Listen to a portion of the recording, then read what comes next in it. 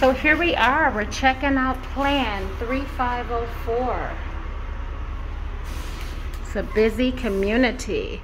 Hey, hey, Kimberly Childs, eXp Realty. Just casing the multiple new build areas for my clients and I figure I like to share them with everyone. You may not be local or you just may not feel like getting out here going through them all. Maybe you want to see the video first to see which ones you like and then go check those out. I'm in a two-story. Love the contemporary cabinets they're doing now. This can be five bedrooms, three bath.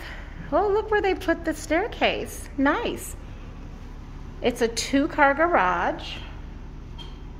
That's that entry I just came in through.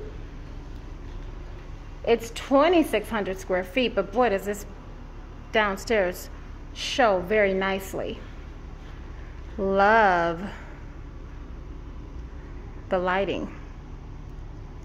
You've got a bedroom downstairs that's always so very nice for company or parents. And we're gonna go upstairs and check out the layout there. It's a shot of the landing. Now I'm at the top of the staircase and the remaining bedrooms are up here. You have a very cozy loft.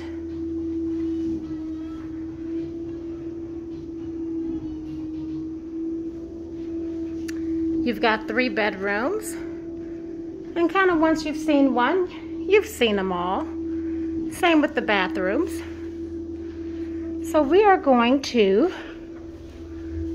go to the most important room, and that's the master. I'm in the West Valley. So you got a lot of nice farmland, open land, Estrella Mountain views out here.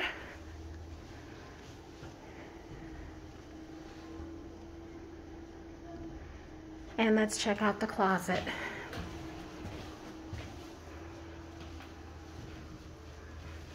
Nice. I like it.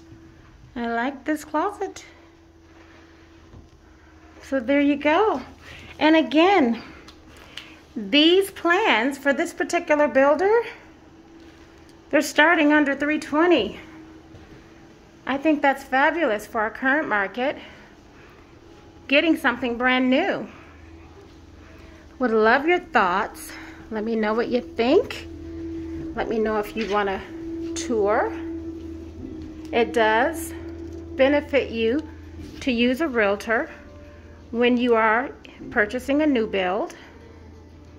You don't lose money by doing it. And you have someone advocating for you and not just the builder.